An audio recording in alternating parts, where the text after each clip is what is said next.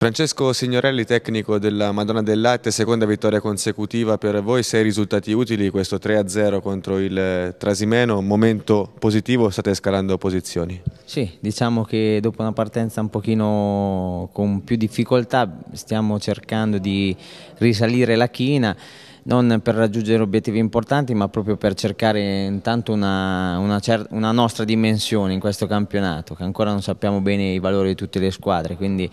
eh, vediamo un po' quello che, quello che sarà il futuro. E, diciamo veniamo da due vittorie consecutive importanti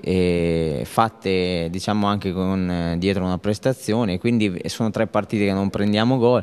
quindi fatto mai successo per noi quindi stiamo cercando di trovare diciamo, degli equilibri giusti per poter affrontare di partita in partita le nostre avversarie insomma.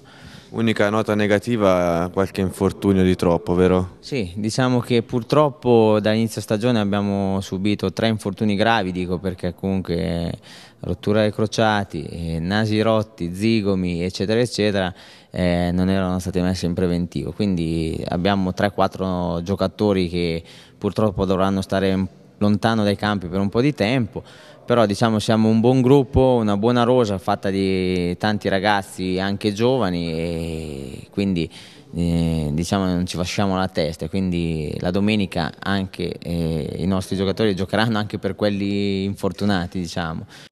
Ecco, possiamo dire Francesco che la prossima sarà una sorta di esame di maturità perché affronterete in casa il Valfabrica che di punti ne ha 14, far bene vorrebbe dire anche crescere in autostima oltre che mettere i punti in classifica. Sì, diciamo che già da queste due partite abbiamo accresciuto la nostra autostima, quindi eh, siamo, abbiamo raggiunto anche livelli di convinzione maggiori.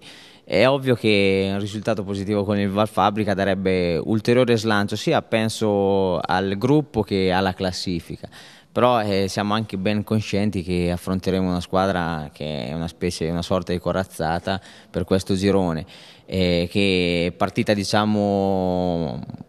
non dico a rilento perché comunque è a due punti dalla prima in classifica, però eh, diciamo che anche nelle ultime due partite ha fatto nove gol, quindi ha un potenziale offensivo eh, di primo ordine. E quindi cercheremo di rendergli la vita difficile, insomma, la vita dura il risultato è importante perché comunque eh, ci potrebbe proiettare anche su una situazione di classifica magari eh, all'inizio non preventivata, quindi eh, vedremo quello che potrà succedere domenica, intanto la prepareremo, diciamo la stiamo preparando bene, quindi vedremo ecco, quello che accadrà domenica, insomma, sperando in un risultato positivo.